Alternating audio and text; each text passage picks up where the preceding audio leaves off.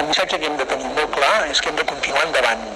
que hem de continuar endavant, que estem eh, defensant els nostres drets, drets que estan reconeguts per les Nacions Unides, que tenim tot el dret del món a decidir lliurement el nostre futur i que no podem baixar la guàrdia davant d'un estat que es comporta cada vegada eh, de manera més autoritària i cada vegada retallant més drets fonamentals. Continuem amb la nostra manera de fer les coses, que és la manera no violenta, civilitzada, la manera com hem ensenyat tots aquests anys al món com els catalans fem les coses.